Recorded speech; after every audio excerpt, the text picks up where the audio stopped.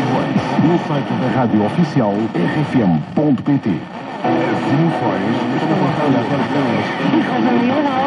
O ranking de cada gala.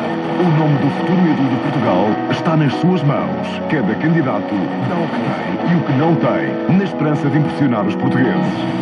Este é o palco onde se tiram todas as dúvidas. O sonho começa aqui. Ídolo.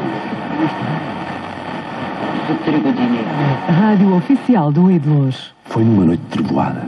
Daquelas em que cada raio é como um ribombar de tambores que encanam.